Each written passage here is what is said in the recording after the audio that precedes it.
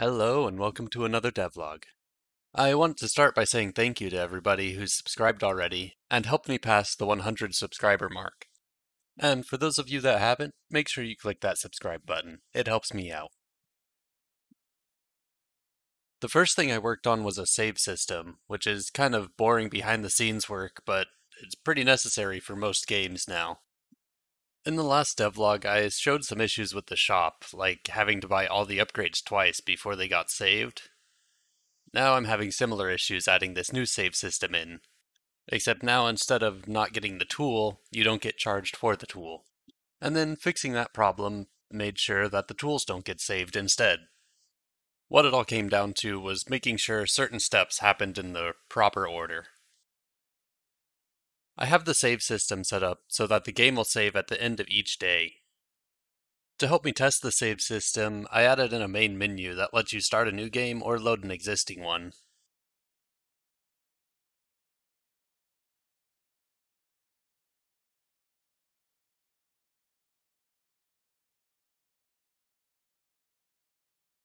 For a while now, I've wanted the size of the fish to be based on their weight. I think I mentioned this in the last devlog since I added in the line weight mechanics. My first attempt was to set the scale of the fish as a one-to-one ratio with the weight. I knew exactly what was going to be wrong with that, but I wanted to test the concept first.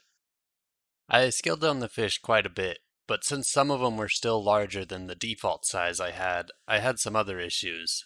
Mainly some of the larger fish come through the surface of the water since the silhouette I use is a 3D model. I can get past this problem by putting the fish further underwater, but because of the angle of the camera, the further underwater the fish are, the further they appear to be from the bobber when they're technically in range. For now my solution to this problem is to scale the fish differently based on their weight. The problem with this is a very light fish can appear to be the same size as a very heavy fish, Another solution I think I'll try is just to scale the length and width of the fish, but leave the height the same. I'm not sure what that'll do to the overall shape though.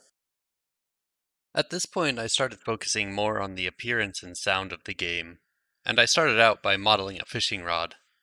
Considering I'm making a fishing game, maybe it shouldn't have taken 10 months to do that, but I've been putting off working on art. I also added an armature so that I would be able to animate it later. I spent a ton of time working on animations, mostly because I had no idea what I was doing. I'd like to do some research and learn more about how others make assets and animate them for their games, because it felt like I was doing everything the hard way. So if you know of any resources I could use, leave them in the comments below. I modeled some oars that the character will use up until the player buys the first upgrade for a motor. This introduced an interesting new challenge, because I had to find a way that the player could equip the fishing rod when they're standing and fishing, and equip the oars when they sit down to row the boat.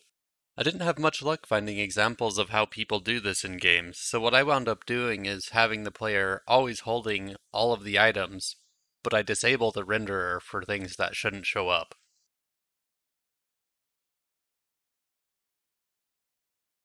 To help the player out a little bit more, I added a description area into the shop.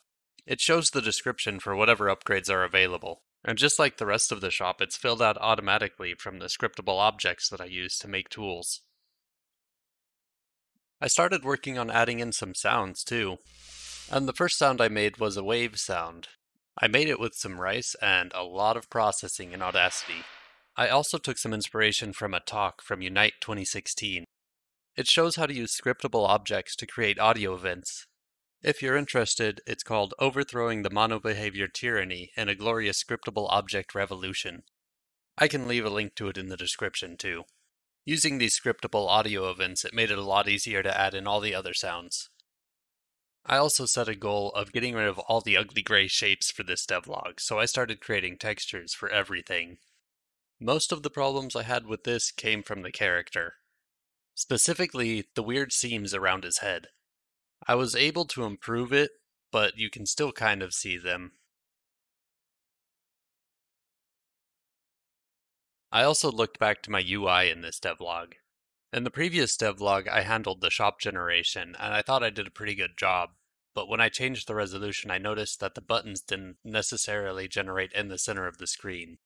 The problem was that I was using the screen height to set the position of the buttons, but I found out that if you have a canvas that scales to the size of the screen, the size of the canvas is not the same as the size of the screen.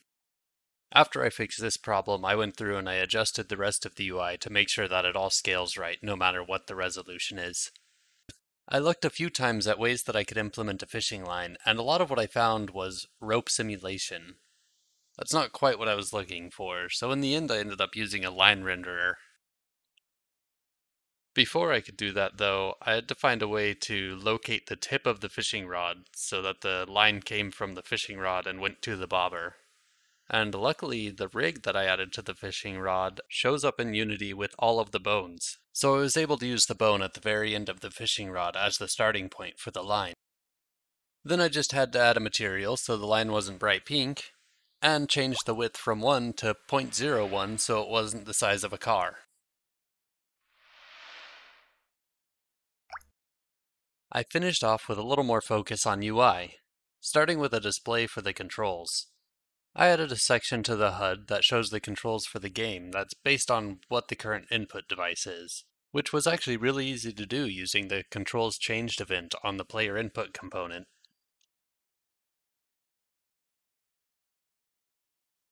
Then I made a really simple message system that gives you information on the fish that you're trying to catch. So it tells you whether it escaped or if it was too heavy, or if you catch it, it tells you what kind of fish it was and how much it weighed.